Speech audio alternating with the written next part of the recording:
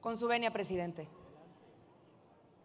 Eso no está, no está discusión la pena suelta. Lo que está en discusión, lo que está, no, Es un ejemplo, espérame, es un no, no, no, ejemplo. pero espérame, porque- no, no es un ejemplo, es un falso debate. Lo que no, a ver, es un falso debate. Lo que no quiere es que se elijan las personas juzgadoras. A ver, a ver, a ver. No, espérame, eso tampoco está en discusión. Bueno, eso no está en discusión, Lo único que estamos planteando es que el artículo 61, fracción primera, que está Esta es una de las personas que está detrás de esta reforma supremacista, Gerardo Fernández Noroña. Reforma que no es de supremacía constitucional, es de supremacía de Morena. Para eso quieren hacer una toma definitiva de la Constitución, sin ningún contrapeso, para que abusos como los que comete Noroña, atropellando y violentando igual a estudiantes que a nuestro sistema republicano, no puedan ser cuestionados. Los pinta de cuerpo completo todo el peso del poder público en contra de un joven estudiante que lo único que pedía era un parlamento abierto para discutir esta reforma que se les ocurrió hace apenas ocho días.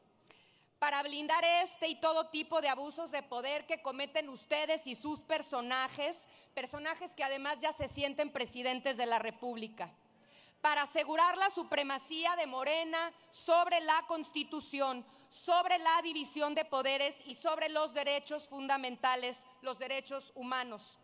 Esta reforma es violatoria de la Constitución y de más de 600 recursos jurídicos y legales, entre ellos una suspensión definitiva que Movimiento Ciudadano consiguió para frenar absolutamente este bodrio de reforma judicial que hoy está teniendo un hijo más, que es la reforma de supremacía constitucional. Esto es, quieren es asegurar su supremacía, su acumulación y abuso de poder. Cuando eran oposición, ustedes mismos decían que hay reformas constitucionales que pueden ser inválidas por sus graves abusos. Por eso, ustedes mismos impugnaron reformas constitucionales. No lo digo yo, lo dice su líder máximo, Andrés Manuel López Obrador, en el 2016. Sin embargo, ahora que están en el poder y que tienen una supermayoría artificial, porque hay que recordarlo, esa mayoría no se la ganaron en las urnas, esa mayoría se las regaló con el PT y el verde del Tribunal Electoral.